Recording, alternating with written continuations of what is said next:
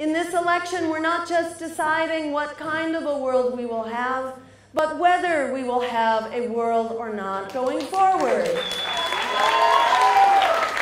And we, we are not going quietly into this dark night.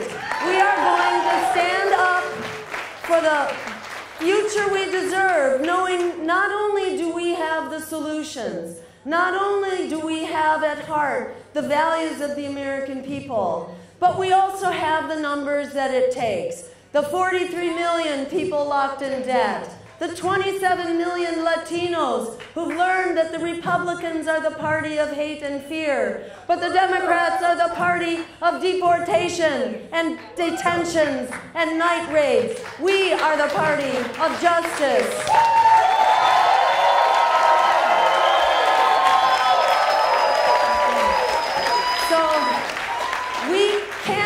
That world, and we say it's time to reject the lesser evil. It's time to fight for the greater good, like our lives depend on it, because they